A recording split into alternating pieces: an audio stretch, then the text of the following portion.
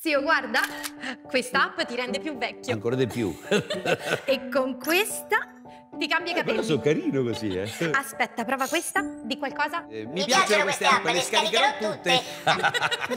e tu invece la conosci questa app? Si chiama Immuni. Fa vivere più tranquilla te e chi ti è vicino. Immuni ci segnala se siamo entrati in contatto con una persona positiva al Covid. In quel caso dobbiamo contattare il nostro medico, così evitiamo i focolai e proteggiamo i nostri cari.